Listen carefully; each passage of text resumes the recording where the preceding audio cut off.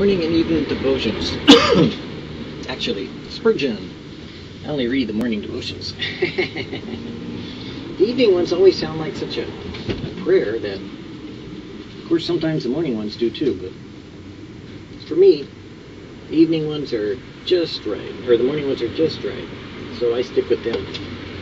You know, what's interesting is that people like to get into this idea that oh I don't know. I, I remember a long time ago. There was a comedian named Flip Wilson and uh, he used to appear on a show called Laugh-In and other things but he used to say here come the judge here come the judge here come the judge. And he also did some sets and some you know humorous routines about the devil made me do it you know and talking about Satan and all these other things. And, you know, people get the mistaken idea that because Satan is a fallen angel and that he's the God of this world, that somehow he is God. And I don't understand how they mistake that or how they get carried away to put so many attributes or abilities to a fallen angel that the scriptures do not say he has. The reality is is that he is a fallen angel, and that's it, bottom line. And that though he was a covering angel at one time, it's still just an angel. And while angels have more ability in some ways than humanity, we have the Holy Spirit who is God. You know, and I don't need to fear what Satan may do. The only thing he can do is to, to rob, to steal, and, you know, to deceive, you know, and most often he doesn't have to do a thing because, in my personal opinion, his his angels or his fallen angels, the demons, they don't come and possess you and do all kinds of manner of things to you. They deceive you into going in a direction that you choose to participate with them in, and that you head towards that, and then you get involved in it. It's kind of like telling me that you know you got muddy because you dove into a mud pile, you know, and once you got into the mud pile and you were splashing around and you got all dirty and then you said, oh, you know, the devil pushed me into the pile. No, you chose to go into it. You know, you chose to get into it. And that's what Satan does, is that he leads you by your own flesh into something. He doesn't have a power over you. He doesn't control you. He doesn't have that ability. It's not like the movies. It's very simple. Just resist. Simple. You know, resist the devil, he'll flee. He doesn't have time to mess with you. He's got other things to do. But he does plant things, just like seeds of faith are planted by reading the Word. He can throw things at you from the system that he set up in the world, for instance, like television or provocation through the lust of the eye, the lust of the flesh, or pride of life. Of course, those things can be induced or have been started by, you know, say a satanic power or principality to cause something around you to influence you in a direction, and then you could give credit, I guess, to Satan and say, well, he did it. Well, but what did you do? the reality is, you did it. You had the choice. I mean, let's get real. You know, come on now.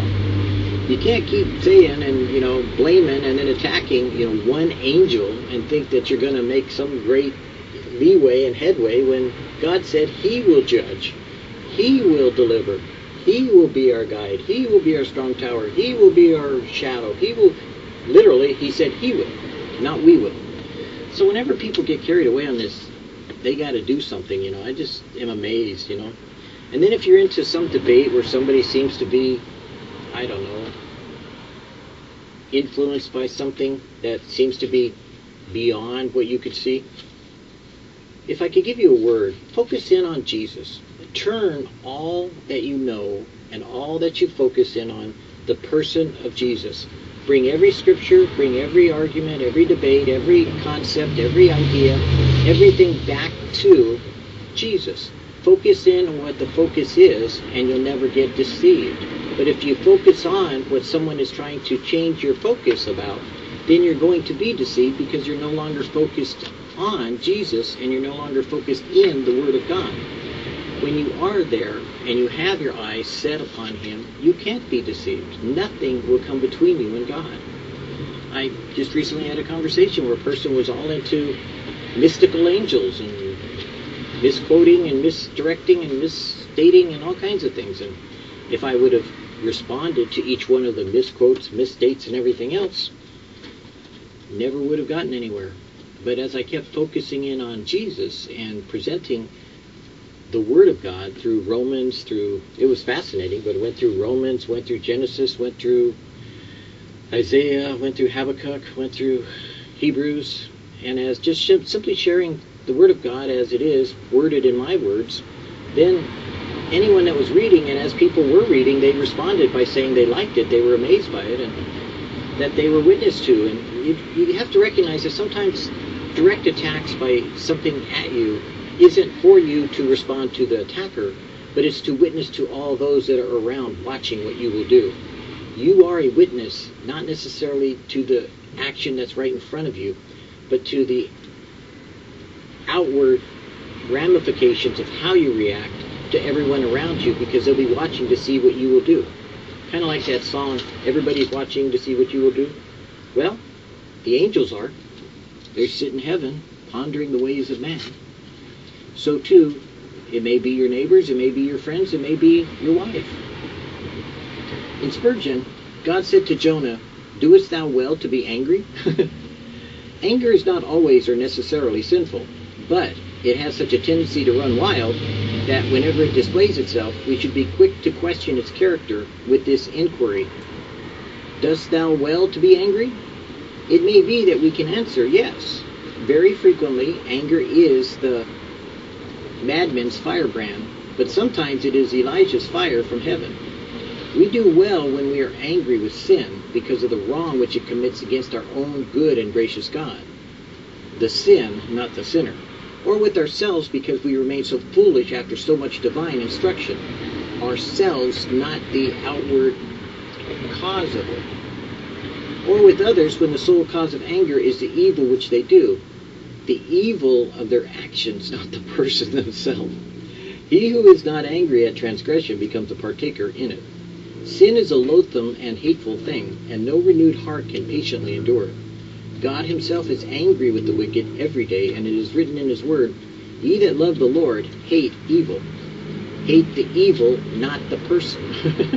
I have to keep saying that. Far more frequently, it is to be feared than our anger is not commendable or even justifiable, and then we must answer, No, we don't do well because we were angry. Why should we be fretful when children, passionate with servants, and wrathful with companions? Is such anger honorable to our Christian profession or glorifying to God? Is it not the old evil heart seeking to gain dominion and exercise its authority over someone? And should we not resist it with all the might of our newborn nature? Many professors give way to temper as though it were useless to attempt resistance. But let the believer remember that he must be a conqueror in every point, or else he cannot be crowned. If we cannot control our tempers, what has grace done for us? Someone told Mr. Jay that grace was often grafted on a crab stump. yes, said he, but the fruit will not be crabs. We must not make natural infirmity an excuse for sin, but we must fly to the cross and pray the Lord to crucify our tempers and renew us in gentleness and meekness after his own image people like to try to tell me that you know Jesus wasn't a wimp and that he was you know furious and somehow out of control when he whipped through the temple and was overturning tables and causing a riot. And if they understood that this was a prophecy that was given that the zeal of thine house would you know consume them, that they would look back and see when that had been done before and how it was done when Jewish prophets came into the temple and demonstrated what God would have them to do. They did not act in anger, they act with the zeal of God, which is a difference. There is a force to be reckoned with when a man is passionate about what he feels as opposed to being angry with what he's doing. When you have passion, and I've been accused of being a passionate person, you attract people to you because they're observing that they're they're drawn for some I don't even know why they're drawn, but they're drawn for some reason. Many cultures are passionate. You know, Italians they say are passionate. Jews, well, we do, you know, Jewish people are passionate. You know, eh, you know we're passionate about whatever. You know, my mother used to say I'm whole hog or nothing, and that for me just simply meant I was passionate about whatever it was that I was doing at the time that I was doing it. And so there's a difference between passion and anger. Now, if I'm angry, there's a whole different venue that I can feel that anger, and I've learned to control it by using it in some ways to motivate me in a different direction. But anger can be wrathful, and so Jesus said, "Let not your wrath, let not the sun go down upon your wrath." So be angry, but sin not. Be careful when you become angry, because it is too easy to turn it into wrath, which is stored up by God for Himself, not for us to exercise on other people. Just, if you can, when you get angry, get over it quickly. You may find it may be deceptive.